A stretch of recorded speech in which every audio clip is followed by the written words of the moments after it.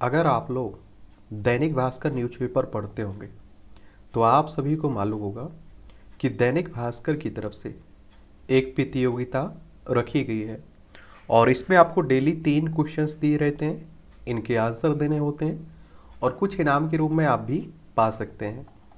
तो इसमें आप लोग किस तरह से भाग ले सकते हैं, ये देख लीजिए सबसे पहले आप लोग।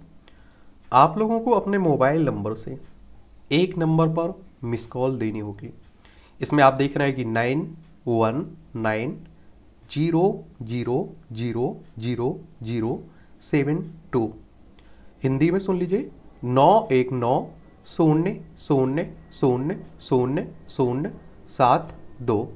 और जैसे ही इस इस नंबर पर मिस कॉल देंगे आप लोग, आपके नंबर पर एक मैसेज आएगा और उसमें एक लिंक दी गई होगी। और उस लिंक पर जैसे ही आप लोग क्लिक करेंगे आपके सामने एक होम पेज खुल जाएगा और उसमें एक सामान्य जानकारी भरनी होगी। आपका नाम हो गया, आपकी एज हो गया, आपकी शहर का नाम हो गया और आप देखिए कि आपकी जीमेल हो गई। नॉर्मल जानकारी रहती है, आराम से आप लोग भर सकते हैं। अब चलते हैं, आज के क्वेश्चंस की बात कर लेते हैं। किसका स्वतंत्रता दिवस भारत के साथ नहीं आता है? आप सभी जानते हैं कि भारत को आज़ादी कब मिली? 15 अगस्त उन्नीस को। और आप लोगों के मन में तीन डेटें काफ़ी कंफ्यूज करती है आपको। एक तो आपका 15 अगस्त है, एक आप देखिए कि आपका 26 नवंबर है, और एक आपका 26 जनवरी है।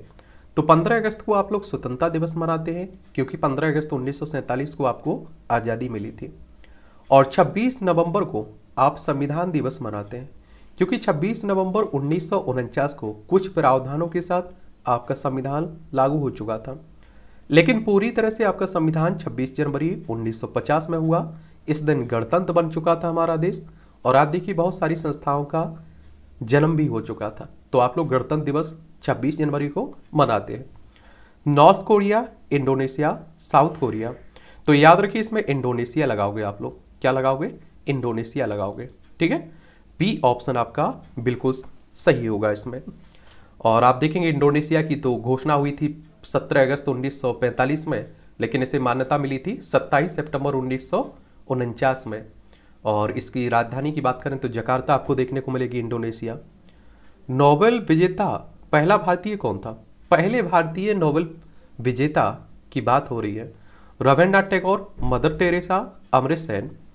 तो इसमें याद रखिए रविन्द्रनाथ टैगोर होंगे। 1913 में आप देखेंगे इन्हें गीतांजलि के लिए ये पुरस्कार दिया गया था। तो ए ऑप्शन बिल्कुल सही रहेगा। किसके अनुरोध पर बापू 1915 में भारत आए थे? कस्तूरबा, जवाहरलाल नेहरू, गोपाल कृष्ण गोखले के तो याद रखिए सी ऑप्शन बिल्कुल आपका सही रहेगा। आपको मालूम होगा कि साउथ अफ्रीका गए हुए थे। यहाँ से भारत आए थे 1915 में। तो पहले में आपका होगा इंडोनेशिया बी ऑप्शन दूसरे में आपका ए ऑप्शन और तीसरे में आप देखिए कि सी ऑप्शन क्या? सी ऑप्शन अगर हम लोग कल के विजेताओं की बात करें तो इसमें ऑप्शन कौन कौन सही था? एक में सी, दूसरे में बी, तीसरे में ए। और आप देखिए विजय कुमार राधे श्याम धाकर नौ नसी कुटाडिया खुशविंदर सिंह लभू बैन, चनियारा। तो ये रहे हैं कल के विजेता। आने वाले कल हम लोग फिर न्यूज़पेपर देखेंगे और आज जो विजेता बनेंगे, उनके बारे में भी जानेंगे। और कल के जो क्वेश्चंस रहेंगे, उनके आंसर भी आप लोगों को बता देंगे। आप लोग भी भाग लेते रहिए, क्या प्रॉब्लम है? आप देखिए, आपका जनरल नॉलेज भी बढ़ रहा है। क्वेश्चंस आपको इस तरह के पूछे जा रहे हैं। और आप लोग अगर किसी एग्ज़ाम की तैयारी कर रहे हैं तो आपको मालूम होगा किस तरह के क्वेश्चंस कई बार आपसे पूछ भी लिए जाते हैं। ठीक है, चलिए तो आप लोग पढ़ते रहिए। हम लोग कल फिर मिलेंगे।